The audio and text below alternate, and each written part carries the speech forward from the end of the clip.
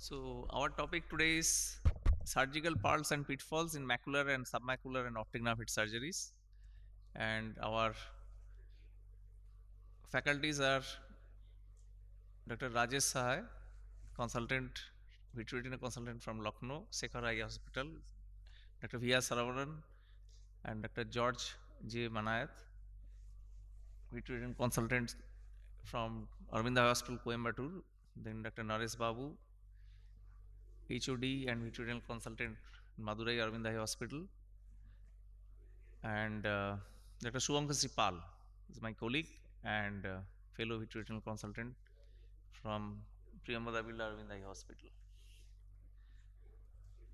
So let's start the presentation. First, dear Dr. Rajesh Sahai, dealing with vitreomacular traction and epiretinal membrane.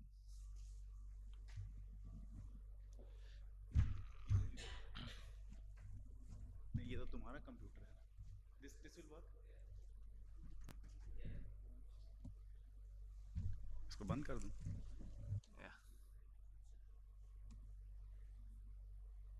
ये तो तुम्हारा computer उधर जाना पड़ेगा। क्यों? This is is on don't know your presentation is here only where you put it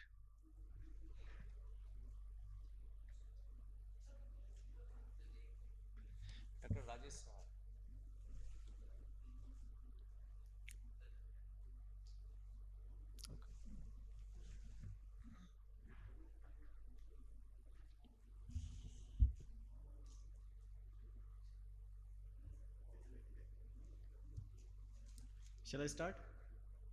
Good morning. Uh, thank you, Dr. Abhijit and AIC for giving me this opportunity. And uh, thank you for a few audience that we have, other than the presenters. And uh, I'll be talking about uh, uh, VMT and epiretinal membranes. So skipping few slides. So vitreous is an encapsulated in a thin shell called the vitreous cortex. The cortex is in, in young, healthy eyes is usually sealed to the retina. In aging and other pathologic conditions, the vitreous cortex separates from the retina. That's known as the posterior vitreous detachment, as you- see in this video. And incomplete separation, uh, the anomalous PVD causes tractional anatomical damage. So the damages uh, because of the anomalous PVD could be vitreoschisis, VMT, ERM, CME, macular hole, exudative ARMD, or epiretinal proliferation, or LHEP as it is known. And optic disc effects could be neovascularization, vitreous hemorrhage, and could be retinal tears in the periphery.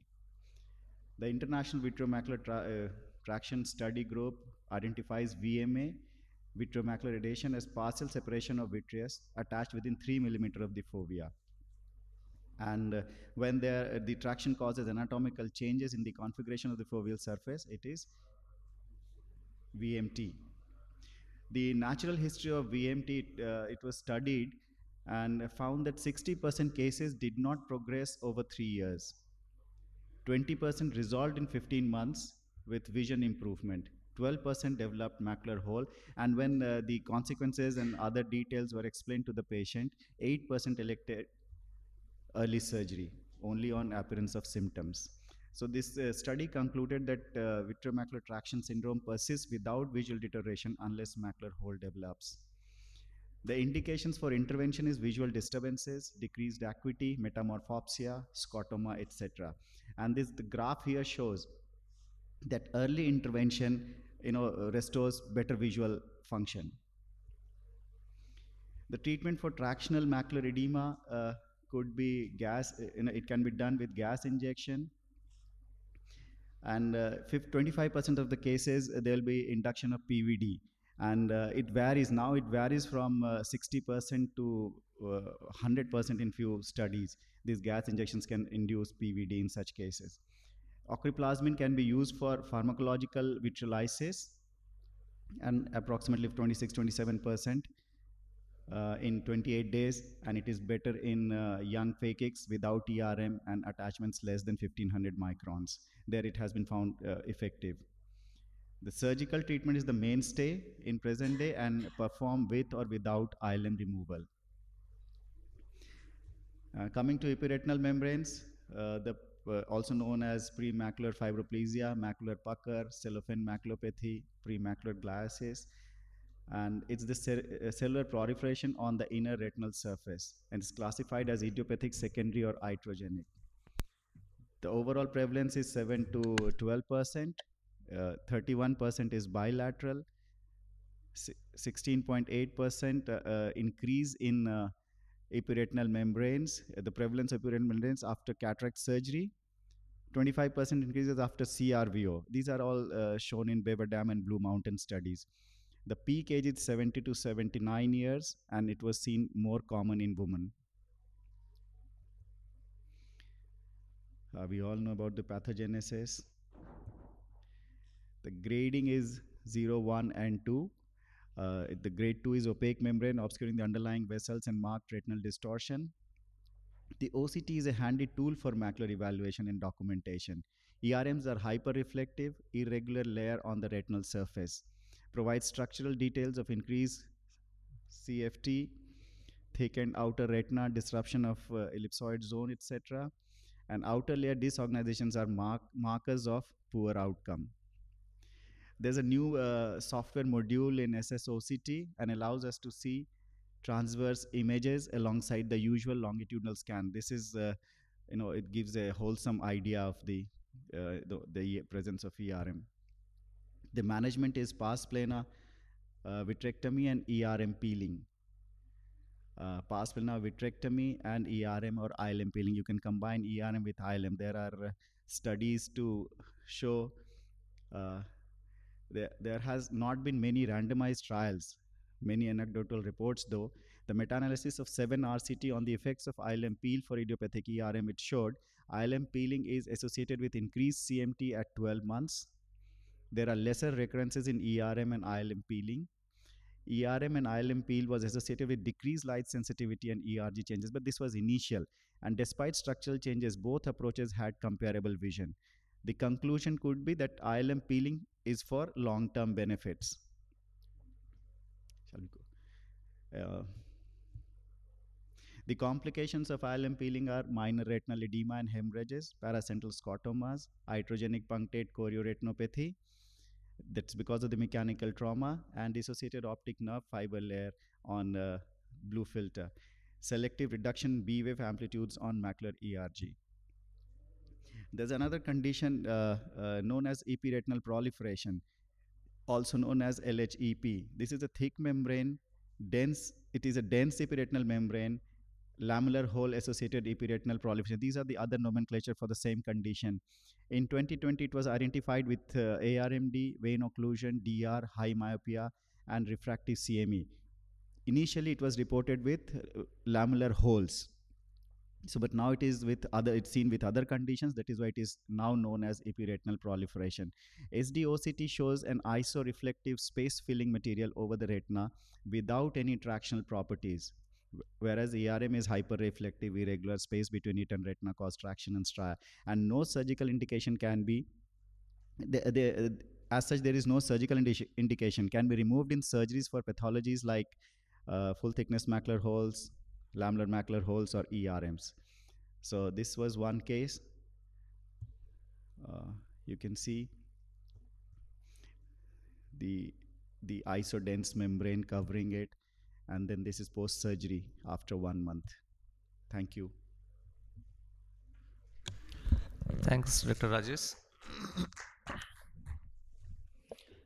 so, uh, shall we discuss anything if we have anything to ask, or we two two topics together we take it? Yeah.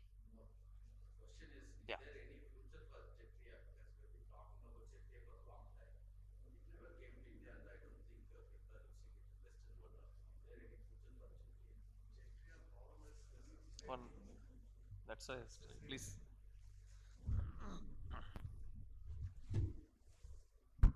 The success rate, uh, even from the company trials, was only 28%.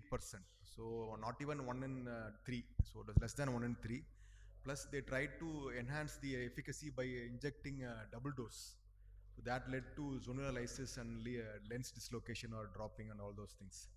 So the efficacy as for single injection is very poor. Double injection, a lot of complications is there.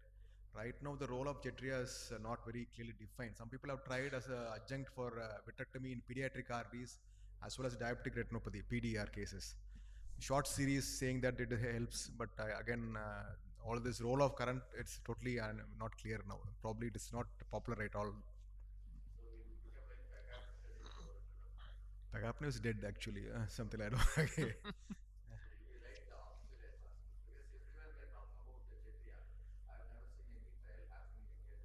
it never launched it never launched. Because even the us trials it was so uh, poor results that uh, they themselves are not using it.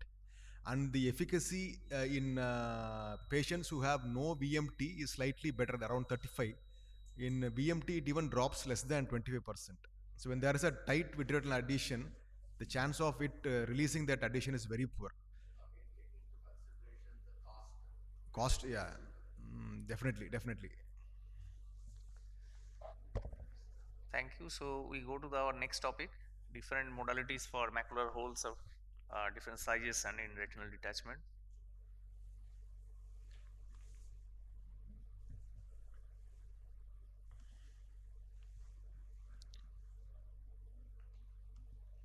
So this is the history was first described by Knapp in 1869 and modern concept and classification we follow mostly by Gass and uh, the prevalence varies from 3.3 percent outside to 1.7 percent in India and bilateral case can happen in 11.1 percent of these cases.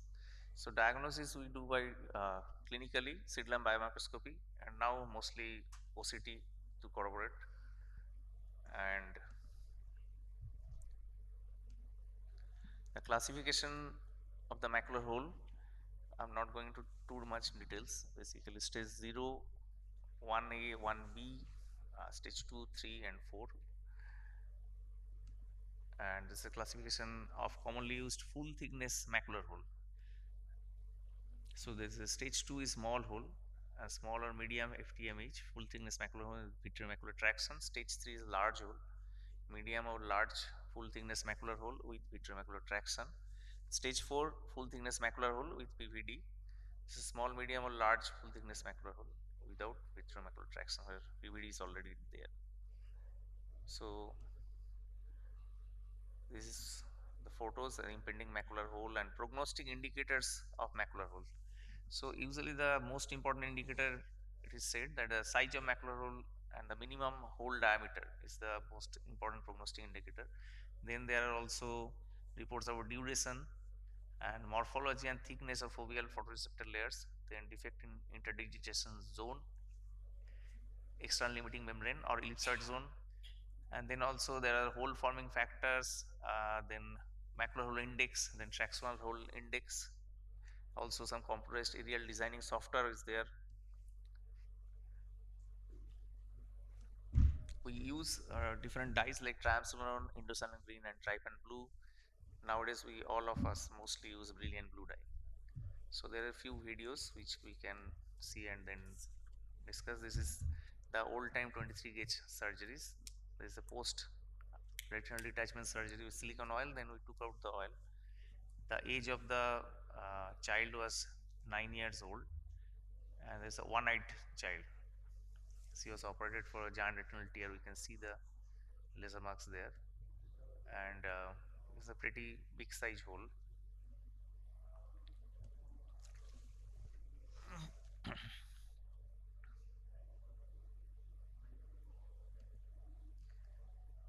so, but the posterior pole was little bit of boggy and uh, we can see the attachment is also quite tenacious unlike the normal ILM.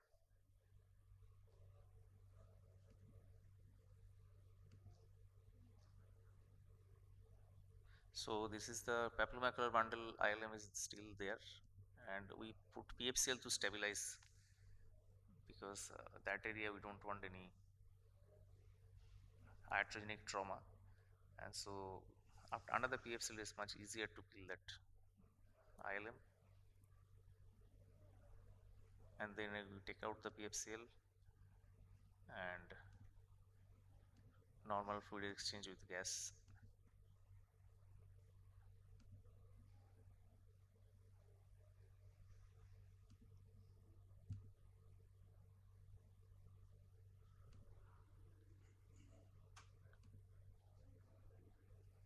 This is a patient of inverse flap technique, both high pseudophakic 660 and 66 vision. You can see there's a stage 4 macular hole and this is 25 gauge surgery we did. So after induction of the PVD,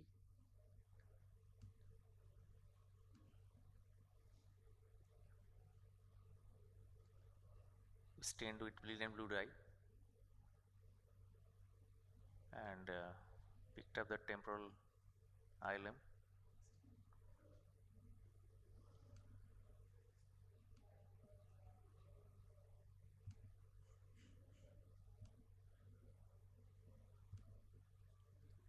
And we just trimmed it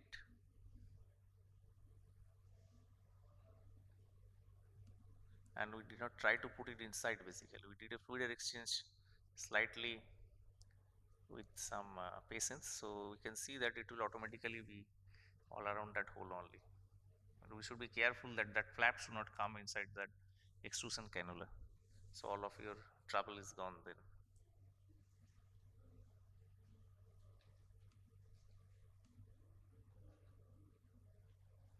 So that is the result.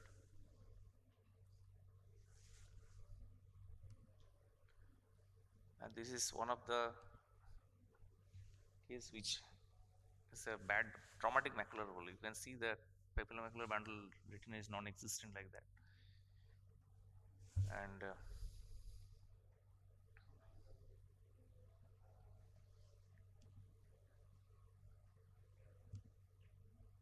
here also Finesse loop I used because not much lemon is also there, so I could not peel also from the inferior part and inside the arcade bad scar and uh,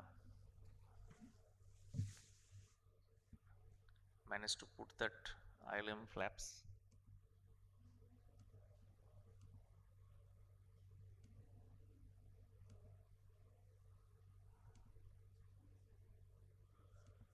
And it trimmed the flap and then we did the fluid exchange so that the flap goes over to the hole covering the hole. You don't have to put it inside basically just covering is enough and see nicely healed the hole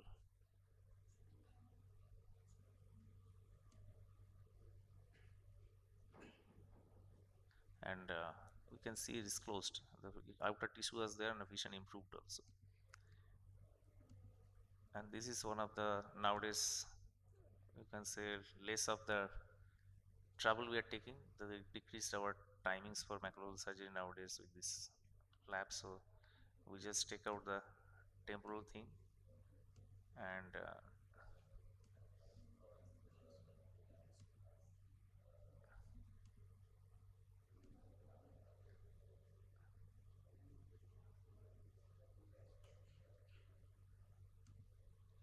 so this is the before and after surgery. So this is the last one with the detachment with macular hole surgery.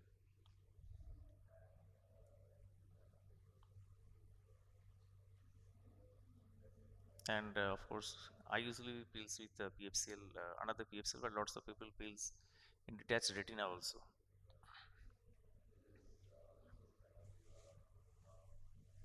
And there is a retinotomy I did and then uh, few of the holes are already there the bricks.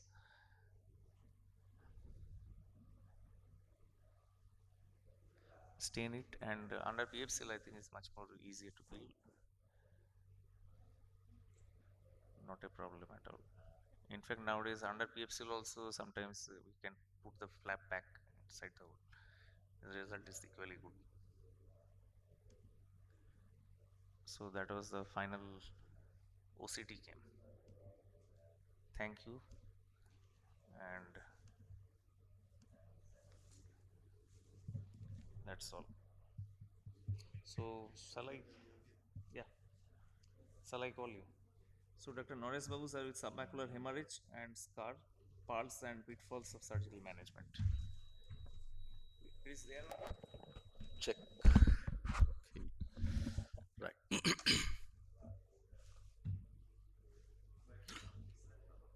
Muthukrishnan, take a photo, nice photo.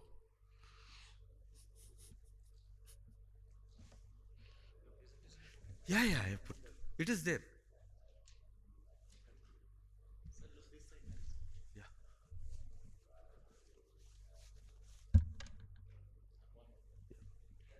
Is there?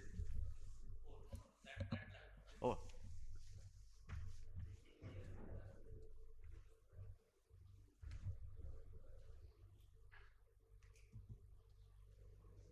Yes. Okay. Uh, good morning, all. Thank you for coming. We have got a very nice uh, this thing. So, uh, for want of time, I think we'll skip uh, most of the the slides and we'll go for the video directly. So, mac managing I what do you call this submacular hemorrhage is a real challenge. And with a lot of PCVs coming around nowadays, we used to come across a lot of uh, this uh, submacular hemorrhage. So it is basically the presence of uh, the uh, blood in the potential space between the RP and the neurosensory retina. So we have come across this submacular hemorrhage and the scar in lot of cases, commonly in AMD or nowadays very common in PCV, high myopia, trauma, everything. And in fact, in case of uh, RAM also we used to come across these things and uh, uh, very rarely we can have uh, Valsalva, but usually it causes sub-ILM bleed for which we do a hyalotomy and uh, uh, it uh, clears. Any subretinal hemorrhage has to be uh, evacuated within 24 hours because otherwise these are the three mechanisms by which the damage starts happening. So when we come across submacular hemorrhage, earlier the intervention, better the outcome. And uh, it's graded based on the size and the thickness into mild, moderate, and severe. But whatever the grade may be, it's better to uh, what do you call uh, treat. But prognosticating it depends on these factors. Basically, if the hemorrhage is less than two weeks, then the outcome is usually good. But poor prognosis is associated with uh, longer duration hemorrhage, thick hemorrhages, and uh, if it is uh, uh, thick at the fovea. So we have got a lot of options. Most commonly, which we use is the gas and the TPA. So this is a case of a traumatic, uh, what do you call, a sub, subretinal hemorrhage. You can find uh, indirect choroidal scar, fortunately temporal to the fovea with hemorrhage. In this case, we have just injected the gas. After the gas injection over a period of time, you can see the evacuation of the blood and scar, I mean scarring, I mean we can see that uh, choroidal rupture temporally. So patient may not be having good vision, but still retrieving the vision is uh, good.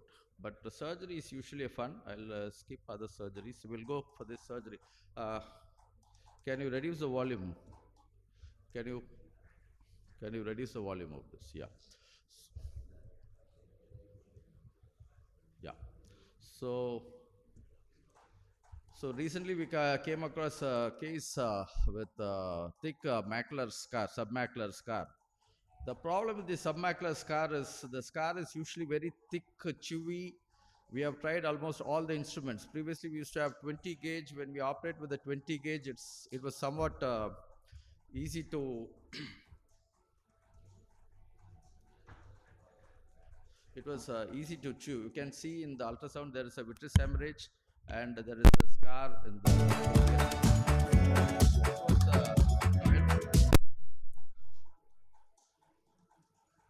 So it was a planned uh, two-stage surgery, and we have planned for submacular surgery also. You can see the coffee-colored blood, and you can see the dense scar under the fovea. So we have to remove this. To do this, we induce the retinal detachment, and retinal detachment is uh, induced by injecting the balanced salt solution filled in a silicone oil injector, mechanized injection. It is more controlled. In three or four places in the subretinal space, when we inject, the retina detaches. After fluid air exchange, once the bubbles coalesce, it's easy for us to do a peripheral retinectomy. So usually we do 180 degree peripheral retinectomy and with the help of Tanos or Finos tube, whichever we have or whichever we are comfortable with, roll the retina to the nasal side and we can make out two things in this. One is the submacular hemorrhage was there that was inferior to the scar and there was a thick uh, dense submacular, sur- I mean uh, surg- uh, scar. So we can make out there is a scar under the fovea and the hemorrhage inferior to the scar. So we removed both with the help of the forceps. So we can make out that is a hemorrhage which can be usually cut with the cutter and uh, removed, but many times the cutter gets clogged Often we have to clear it, and this is a submacular scar. You can see it's quite dense, chewy, rubbery. So this is very difficult to uh, remove. Sometimes we make a sclerostomy to remove this, but what is happening?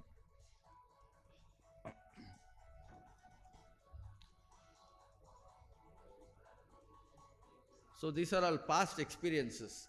We have used cutter, we have used fragmentome, whatnot to remove. So this is uh, some case which was done in the past where I am using the frag, I mean the forceps and then the fragmentome. It was so difficult for us to remove this uh, thing. So finally, after cutting it into multiple pieces, literally it was uh, removed like a foreign body. Sorry for the poor quality. This was done a long time back.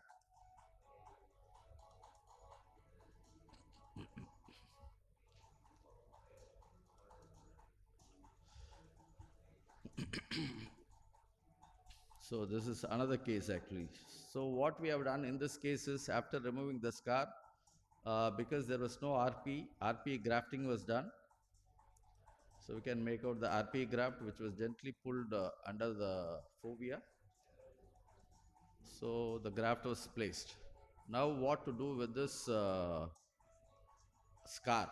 So what we have done in this case in order to save the time and are moved everything. So what usually I do nowadays is take this scar. We have uh, done a harvest of uh, RP graft. In that graft area, just put this scar.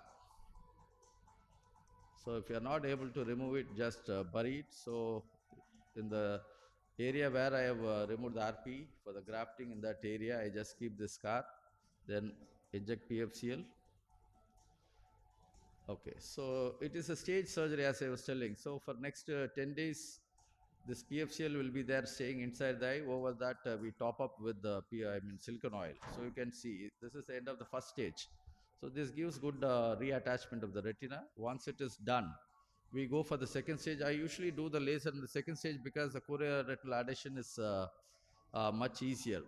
So this is uh, the second stage of the same patient done after 10 days we have removed the silicone oil then we have to remove the PFCL also. Once it is done we go for the laser. So that uh, what you call 180 degree retinectomy which retinotomy we have done retinectomy that has to be treated like a giant retinal tear and maybe some barraging around the graft also. You can see the scar sitting over the graft area.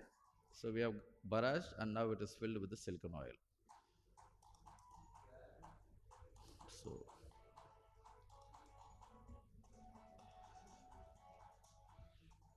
so once it is done it is filled with the silicone oil. And there is uh, the sub i mean uh, graft in the subfoveal area. So usually we use uh, 1000 silicone oil or sometimes 2000 silicone oil. And uh, the removal is regular. Maybe at the end of third month we remove it. Yeah. So this is 15th post op day, you can find the graft and here you can see the, the scar sitting in the area where we have grafted. So this is one of the newest thing which we have started doing because uh, removing the scar is very difficult. So we have got all the other options like uh, you can inject just gas and leave it. Once the blood gets evacuated, we can remove. Or other shortest way is just uh, put this graft under the, the, the area where we have uh, harvested. If we have not harvested also, it doesn't matter. Just keep it over the RP and then cover it with the retina and laser it. Never we had any problem so far. So I think with that, I would like to conclude the talk. Thank you very much.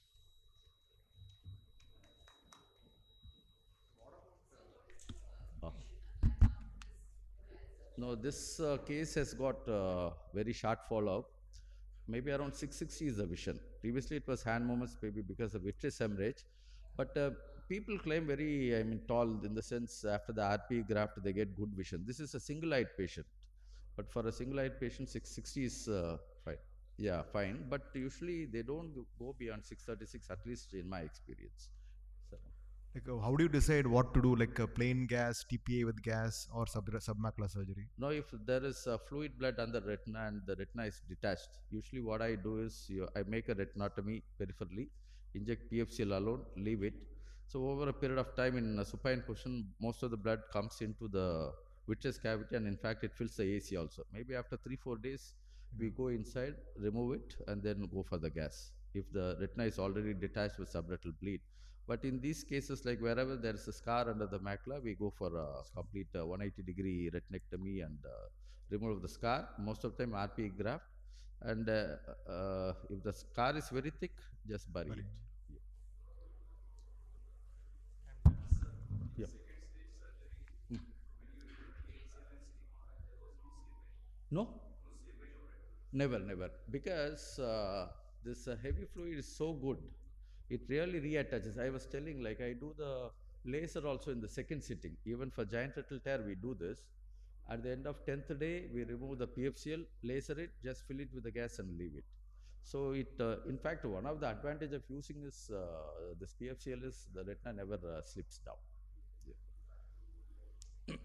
So after this GRT you created, then you leave uh, in the second stage you put oil or gas? Second stage, in this case, oil, Okay. but in uh, giant retinal tear, per se, gas in the second Okay. stage. Generational tear also I heard that you do in two stages, correct? Two stages. Yeah, Most of the cases we do two stages. Thank you. Thank you. Yes. So our next speaker, uh, Dr. Saravanan VR, macular hole and schisis.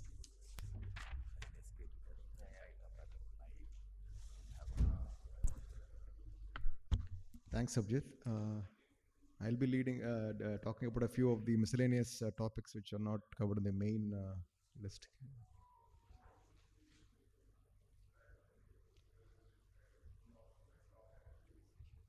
So, uh, myopic traction maculopathy, initially when we were before the pre-OCT era, we were not able to identify the tissues getting distorted in the posterior pole.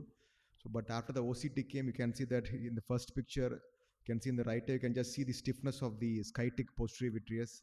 You can see the early traction maculopathy where the inner layers are getting uh, uh, pulled up. And a little bit more uh, severe case, in another case, you can see the early uh, skytic spaces here. Here you can see the early skytic spaces, and this is the stiff uh, posterior hyaloid, skytic posterior hyaloid, which is the main uh, pathological factor which causes all these changes. Here you can see a inner lamellar hole, and here you can see a full thickness macular hole with a posterior pole detachment. And whenever you have a posterior pole detachment in a staphylomatous in an eye, it is usually because of the myopic, because it's very unusual for a macular hole to cause retinal detachment in a normal patient. It only happens in a high myopic patients. And you can see at the base of the hole, you can see the presence of myopic macular schisis. So some of this is the uh, most severe stage of uh, myopic traction maculopathy. So initially, even though multiple names were uh, uh, given to this entity, right now uh, myopic traction maculopathy is the most preferred and accepted uh, terminology which is currently uh, being used everywhere. And here you can see one more case where there's a secondary CNVM along with the presence of uh, very severe uh, macular myopic macular schisis. And you can see you can even see a small dome-shaped macula, which also is common in patients with high myopia. The central macula sorts of juts in, causing a dome-shaped macula. uh, macula. So this can also produce uh, complications like serous maculopathy, uh, like CSR, like uh, CRS maculopathy. Again, showing a severe uh, inferior to the uh, macula here, fovea here.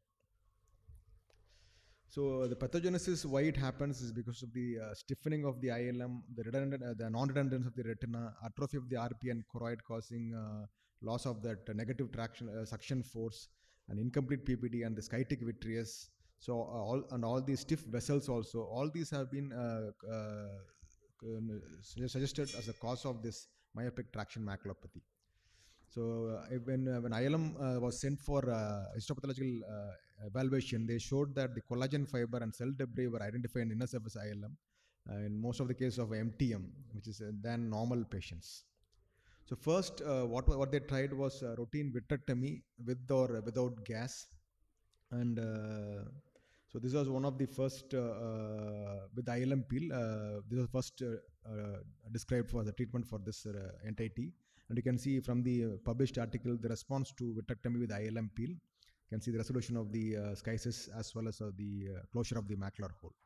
One more case, sometimes if there's a large uh, subfoveal detachment in the absence of any break, uh, the fluid can take a lo- long time to resolve because of the absence of healthy RP. The pumping mechanism is not that very great, and it takes a long time for the fluid to come down. This is just showing a small uh, case of uh, uh, short case of video of myopic macular hole here. You can see the loss of contrast because of the uh, atrophy of the RP in the posterior pole. So identifying the ILM is not very easy. So I'm using because of the uh, fluid also was there, was a focal, RD in the macular posterior pole. So I put PFCL also, stained it with now trypan blue. And you can see that when I'm trying to remove the ILM, what I removed first was the skytic vitreous. You can see the uh, rubbery uh, Uh, uh, consistency of the first tissue. This is actually the skytic vitreous, which is not identified. Nowadays, people use triamcinolone to identify this mem membrane. Now, second time what I'm doing is the ILM. So using PFCL helps to prevent the dye migrating into the subfoveal space in the case of posterior detachment. So this is a short video of how to do ILM peeling. And using contact lenses also gives a much better depth perception compared to routine and non-contact viewing systems. So then Richard Spaide, he described where he identified using triamcinolone, he identified the posterior hyaloid and removed the posterior hyaloid and the skytic vitreous, but he did not do ILM peeling. So he showed that even without ILM peeling, with proper removal of the vitreous, you can uh, reattach these cases. So next uh, choice is to push instead of uh, pull uh, push the retina from inside, push the sclera from outside. A lot of myopic uh, macular buckles have been tried. The uh, most popular is Ando plombe and the JBL buckle. So in India, a lot of the T buckle, this is what we in India because it's quite cheap, around 3,000, 4,000 rupees, but it's a little bit more gruesome. The orbital inflammation post-operatively is very uh, severe. This is just a small video of the JBL buckle being placed so just to uh, expose the uh, temporal area, the uh, superior, inferior and the lateral rectus and then do the ILM peel. So once you finish the ILM peel, then this is the uh, uh, actually. So they put a light pipe to uh, assist in correct positioning. This is just pushed underneath the temporal rectus, lateral rectus and the light shows the positioning of the buckle is in correct situation and then you can just suture it and uh, this is the uh, post-op uh, resolution of the I can see the closure of the uh, hole and the resolution of macular schisis following the placement of an Ando plombe and you'll be a change in refraction because the sclera is pushed forward so you may have to change your glasses also. So this is how uh, various techniques for treating uh, myopic um, traction maculopathy. Then we'll come to the second topic that's the optic disc pit maculopathy. This is a little bit of a rare entity not seen common, commonly and this is one of the uh, congenital anomalies of the disc which comes under the uh, optic disc coloboma, morning glory syndrome and all those things. It comes under the same scheme. So here you can see that the fluid accumulation happens in both the intraretinal and the subretinal space and along with the uh, changes in the RP also. So where this fluid comes from, how it enters the uh, subretinal space or the intraretinal space is again a question. But the most accepted theory is that because of the defect in the uh, optic disc uh, and cribrosa, the vitreous skytic fluid enters through the uh, pit into the intraretinal and subretinal spaces. So you can see, uh, unlike CSR, uh, you see intraretinal uh, or uh, fluid accumulation in the intraretinal apart from the subretinal space also.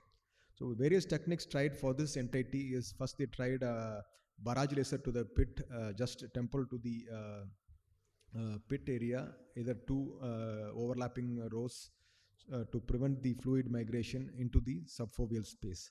This only uh, takes uh, uh, scar if, if the peripapillary area is still attached. The peripapillary area is detached, then this is not going to get have any effect. So next was uh, people have tried plain gas injection without vitrectomy, like a pneumatic displacement, which you do for uh, submacular blood. Then people have tried vitrectomy with uh, ILM peel or without ILM peel and also gas injection. So all these techniques have been were initially tried with a limited success barrage, plain gas, vitrectomy with gas, vitrectomy with ILM with gas. Then Spaide et al. he described inner retinal fenestrations. He, he, he proposed that by creating partial thickness uh, uh, injury to the uh, peripapillary area by a sharp needle, the fluid which enters through the optic pit exits back into the vitreous cavity. So his theory was uh, that you can just redirect the fluid back into the vitreous cavity by creating inner retinal fenestrations. He showed some cases which succeeding with this technique, but uh, we tried and we could not have the same success. So right now, what is most popular is plugging of the pit by various uh, tissues. Uh, like some people have used fibrin sealant, some people autologous blood, some people have used scleral flap and also ILM. This is one case of uh, ILM peel uh, uh, for a macular pit. You can see that uh, here they did a fovea involving ILM peel. So risk of fovea involving ILM peel is that When you do that, if it's uh, perifoveal uh, area is very thin, it can produce a iatrogenic macular hole formation, which happens. So you just uh, peel all the ILM and then uh, under air you just plug it into the optic disc pit. You can see that uh, even though the SRF resolved, it, it produces a secondary macular hole. So nowadays what we do is more of a um, fovea sparing ILM peel. So there's a kid with a hole. So you can see that the ILM peel is uh, started nasal to the fovea so that the fovea itself is spared. And then you peel the flaps and then under air, you just uh, uh, push it into the optic pit. So this is the ILM uh, peeling technique. Now, which is much more successful than ILM peel is the scleral plug technique. So you take a auto, say a autograph from the, the from the same patient, trim it according to the size, the whole size, whatever optic disc pit size you see, and then just slightly push it into do a vitrectomy. ILM peeling may not be needed in these cases. I don't usually do ILM peeling in these cases where I'm going for a scleral graft, and then push the graft into the pit area. So this goes and plugs. And this is the uh, OCT showing the pre and post resolution of the graft. You can see the graft sitting on the optic disc pit. Last is the uh, unusual or uh, inordinate uh, migration of subretinal PFCL in patients who have undergone uh, uh, RD surgery. Here, because of the bubbling, uh, when you have when you're exchanging instruments, uh, because of the jet force of the uh, infusion fluid, the PFCL bubbles breaks into small, small uh, bubbles which can migrate in under the brakes and uh, go into the go into the uh, subretinal space. So what we can do here is uh, some there are two three techniques which we can do. Uh, one is uh, what uh, the uh, if it's a very small bubble and you don't want to injure the macula, uh, create a iatrogenic macular hole. So what you can do is you can create a, a small a of RD use uh, at the posterior pole by using the either the 40 gauge needle or uh, as Dr. Abhijit taught- me, I use the 30 gauge needle also. Then you can uh, push this uh, subfoveal uh, uh, bleb of uh, PFCL into the peripheral area, and then as you aspirate the subretinal fluid, the PFCL bubble also gets re- re- removed. This is one technique when this bubble is very small. So you can see that this is uh, what Dr. Abhijit taught me. You can see that I'm breaking the 30 gauge needle, which use routinely used for intravitreal injections, and hooking it onto a routine intramuscular 24 gauge needle and creating a, our own contraption. This is a little bit uh, cumbersome, but if you have the 40 gauge needle, uh, which is much more easier to use, but in case you don't have access to that, and, and at the OT, if you don't have this, you can use it as a backup uh, tool. So this is then connected to either a silicone injector filled with BSS, or you can use your ask your nurse to inject through a 1 cc syringe. So this is a second post-operative. It is best to remove the PFCL as early as possible because it can cause permanent phototoxic uh, phototoxic effect. So the oil is still inside this, in this patient. I'm just uh, uh, bending uh, and making this parallel to the RP at the level of the macula. The needle should be bent according to the uh, curvature of the globe. And then once you inject, it will form a small web of uh, RD. BS is injected under the retina. And then you aspirate this with either using a 25 gauge uh, suction cannula or a 27 gauge suction cannula, whichever you have access to. Before that, you just mobilize the PFCL so it's loose and easily asp- uh, aspiratable. So once you do that, then once you aspirate the sub submacular fluid, the PFCL also gets removed along with it.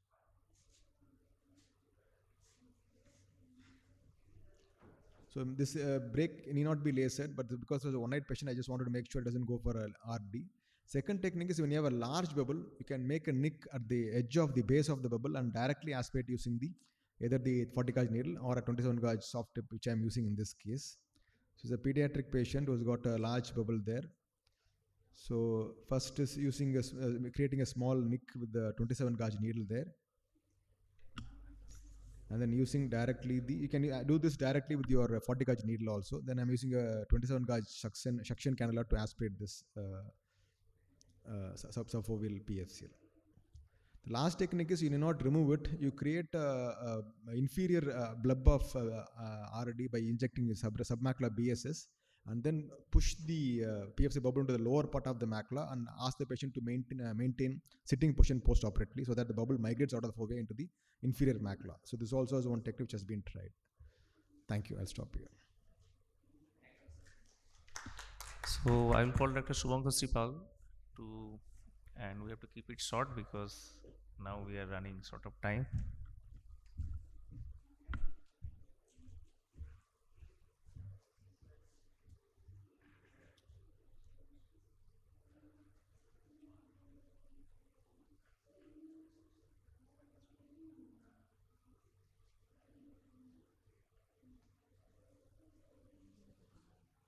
Good morning. Good morning. Uh, my topic is uh, submacular hemorrhage causes and its role of uh, TPA gas and anti-VEGF. Uh, Dr. Naresh Babu has already discussed few of my uh, slides, so I'll just skip through. So it's a hemorrhage in the potential space between the neurosensory retina and the RPE. Most common causes neovascular AMD, PCV, retinal artery macroaneurysm, trauma, myopia, and angioid streaks. The, it may lead to the photoreceptor damage within 24 hours by causing shearing of outer segment of photoreceptors, impaired transport of nutrients, direct toxicity by iron, fibrin, and hemosiderin. So timely intervention is required. So treatment options are like anti-VEGF uh, monotherapy, pneumatic displacement with anti-VEGF, intravitreal uh, TPA with anti-VEGF and pneumatic displacement, then pars plana vitrectomy with subretinal TPA with subretinal or intravitreal pneumatic displacement. Natural history has a poor visual outcome. There is no gold standard treatment and monotherapy with anti-VEGF showed some success. Anti-VEGF treats the underlying pathology. The expansile gas like C3A4 recepsis causes mechanical displacement of the blood from the fovea, the faster visual recovery, and uh, it may cause also flattening of hemorrhagic PEDs. So uh, it also allows uh, to view the underlying pathology and perform uh, related investigations and treatment. Anti-VEGF with gas has shown some better result, but there is no head-to-head prospective trial. A CATT trial group, subgroup of submacular hemorrhage had favorable outcome. TPA was first described by Wilson Heriot. The intravitreal uh, 0.1 ml, the dose is 50 microgram in 0.1 ml. It catalyzes the breakdown of plasminogen to plasmin to cause clot lysis, liquefies subretinal clot, and hasten resorption of pre- pre-existing hemorrhage. So intravitreal TPA with or without gas or anti-VEGF result is very good in small hemorrhages with shorter duration. Subretinal TPA dose of uh, 10 microgram in 0.1 ml uh, following a vitrectomy is used in the large, uh, long-standing and more severe form of hemorrhage. It causes chemical lysis of clot with minimal mechanical trauma.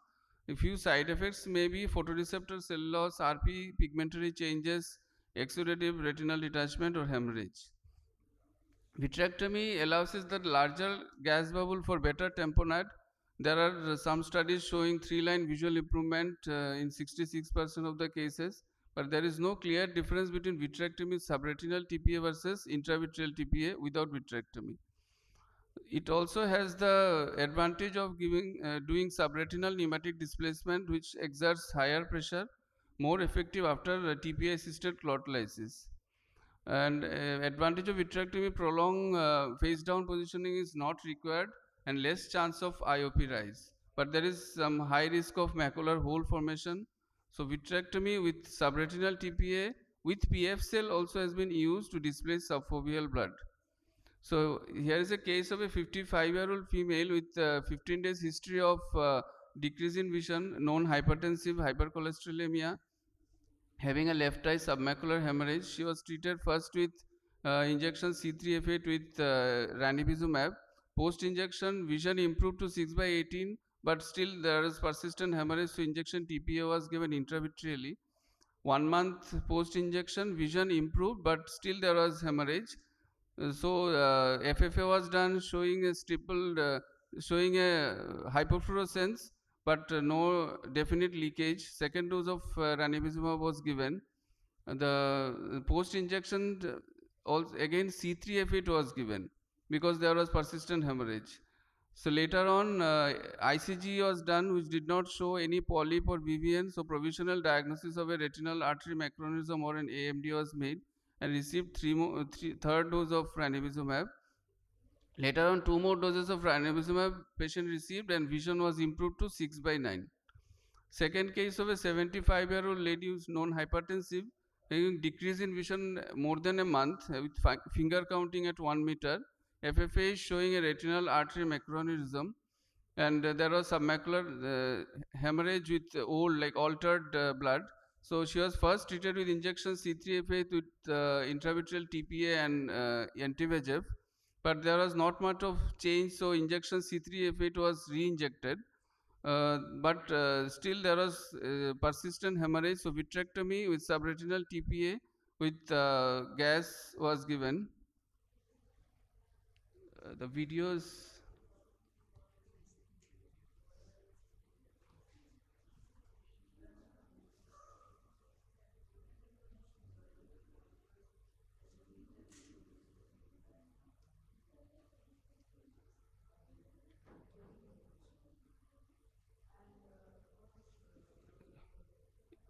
I have the video here, you can show it. Yeah. So we, did a vitrectomy. So after the initial uh, vitrectomy, the tricot was used to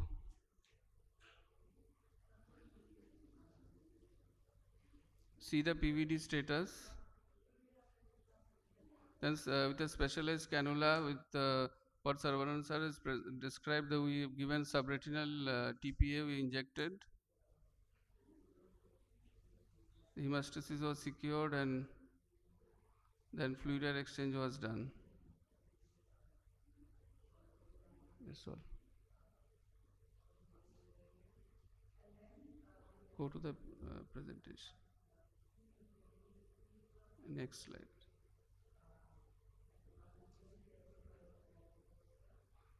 So following that uh, surgery, the subsequently patient received two more injection of aflibercept and vision improved to 6 by 18.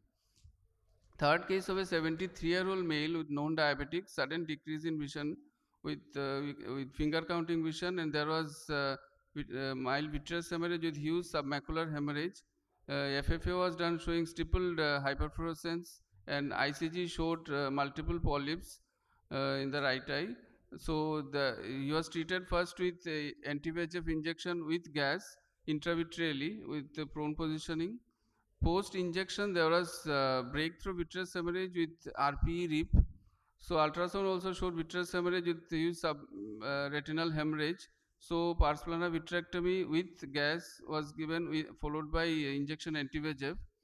So one month post-op, uh, second injection patient received, but vision did not improve, but uh, hemorrhage resolved. So if we see the three cases, uh, visual acuity depend on the underlying pathology. TPA was not uh, mandatory. So visual prognosis was better in patient with shorter duration and lesser retinal damage. Anatomical success could be achieved. Subretinal TPA was very effective in long-standing cases after the intravitreal TPA failed. So relatively less complication. Only only one case had breakthrough vitreous hemorrhage with RPE RIP. So then to conclude, timely intervention is essential. Intravitreal gas is effective in displacement of blood, but man, may require multiple injection. Anti-VEGF has big role in treating the underlying pathology. Uh, TPA is effective in, in dissolution of uh, blood clot, but may not be mandatory. And subretinal TPA is more effective and safe in refractory cases. The ultimate uh, visual prognosis depends on the underlying pathology, presence of sub-RPE blood, duration, size and the available facility. Thank you. So uh, that uh, that come to the end of the uh, session, and Dr. George is not with us today. Any questions from the audience and regarding any of the talks which were? Uh, yes. Sir. Uh,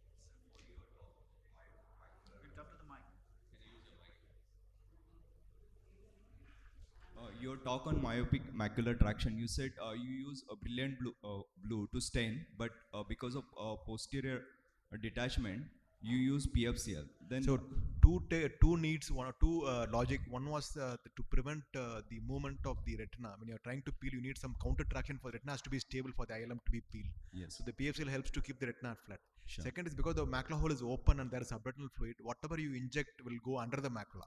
Yes. So already because of the uh, absence of RP, the contrast is very poor. yes. When the dye goes under the macula, when you peel, you will not be able to differentiate between the peeled area and unpeeled area. So PFC will help to prevent the accidental migration of the dye into the sub subretinal you first put PFCL and then you Then dye, yeah, then use uh, stain it with the soft tip candle.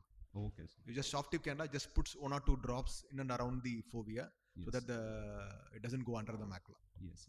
And uh, for Spaide's procedure, I did in one case, and after four months, the fluid totally resolved. Okay, in, mm, uh, maybe optic I did in two cases and it did not help. Uh, so uh, I don't know. Thank you. Sachin, hi. Yeah, yeah. Uh, hi. Um, it's regarding the subretinal TPA.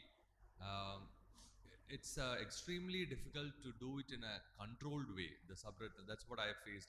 Invariably, uh, the fovea, which is the innermost part, it just gives way at the time we're pushing. This is an invariable problem which uh, I face. Uh, well, some of it closes uh, in the post-operative period. Some of them remain open. So, the trick is to start the injection slightly peripheral to the macula, so that the uh, the fovea just comes under the edge of the macular blub which you create. If there is too much force, it will rup- rupture and create a iatrogenic macular hole. So you slightly start more peripherally so that the uh, main uh, fluid does not come under the macula. It is so you can slowly when you put air, it will sleep under the macula. So don't try to in the first sitting itself. Don't try to inflate the fovea too much. That's the point where it will give way actually. And the force of injection also is a little bit uh, important. Inject very fast. The Uh, I chance use of uh, VFC. ah okay okay. Same. So, so thank you, thank you for, the, for being here, and thank the speakers as well. Thanks for uh, attending the con IC. Thank you, everybody. Thank you.